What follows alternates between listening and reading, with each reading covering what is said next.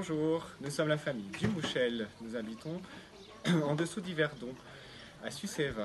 Euh, je m'appelle Julien, mon épouse Christine, mon fils Gaëtan, nos quatre enfants, Félix, Marie et Martin, euh, l'acrobate là-bas.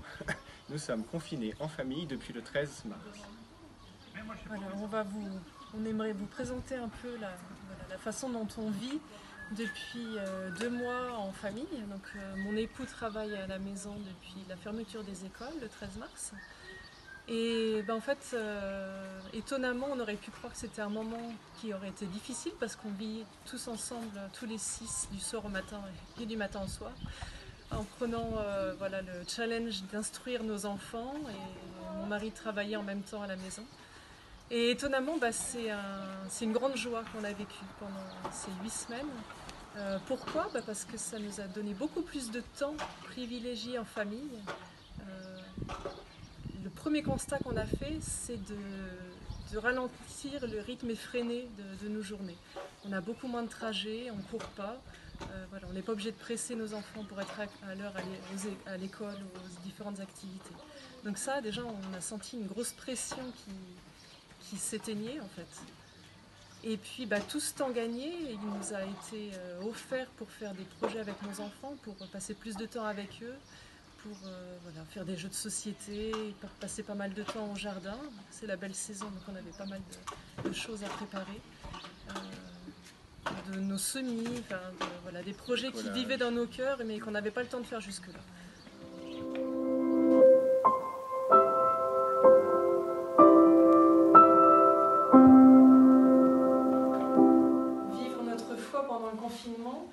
Sans les rassemblements communautaires et sans euh, la communion eucharistique, euh, nous on a choisi de le vivre sous un angle positif, c'est-à-dire qu'on a simplement pris conscience que si on était là, c'était pas pour se protéger nous, mais pour mettre à la- à l'abri les plus vulnérables, pour que eux tombent malades. Donc finalement, on s'est dit que ça c'était c'est un acte d'amour et pour ça, bah, ça a été très encourageant pour nous dans notre vie de foi.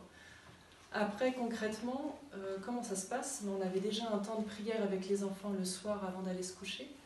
Et euh, par chance, on en a rajouté un le matin, vu que maintenant on a davantage de temps disponible. Euh, on se retrouve dans la chambre, dans les chambres des enfants, dans la chambre d'un des enfants, et on s'assoit ensemble, simplement. On prend le temps de faire silence, on prend le temps de commencer par un signe de croix. On récite toujours le Notre Père ensemble, et puis après, bah, chacun peut exprimer ce qu'il a sur le cœur, donc les, choses qu'il a envie de, de demander, euh, les choses pour lesquelles on veut dire merci, parce que euh, on souhaite rendre grâce euh, de ne pas être touché par cette maladie déjà, de ne pas avoir de conséquences euh, professionnelles négatives. Il y a beaucoup de choses qui font que nous, on est épargnés au milieu de cette pandémie, et pour ça, on veut dire merci. Donc ça, euh, clairement, au quotidien, on remercie. Et après, ben, on n'oublie pas de, porter dans nos prières les gens qui sont seuls, les gens qui sont malades et les gens qui sont à leur chevet.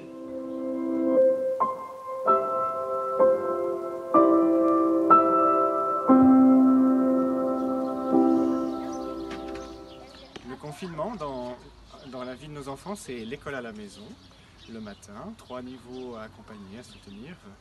L'après-midi, euh, du jeu, l'extérieur, le jardin, le potager. C'est aussi bah, se mettre à leur niveau pour euh, certaines activités et certains moments à vivre. Par exemple, pour la Semaine Sainte, où- qu'on a vécu avec eux en fabriquant un jardin de Pâques et puis en, étant soutenu par les propositions de la pastorale des familles. C'est aussi répondre à leurs questions, les questions qu'ils se posent. Euh, Est-ce qu'on ira à Pâques en Normandie euh, cette année? Est-ce que nos, les grands-parents peuvent euh, attraper le, coronavirus? Notre grand aussi qui s'est demandé ce que Dieu pensait de- de- de ce virus.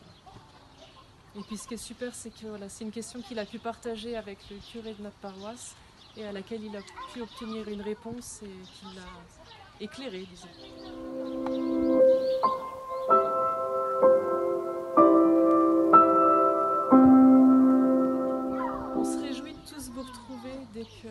Ce sera possible.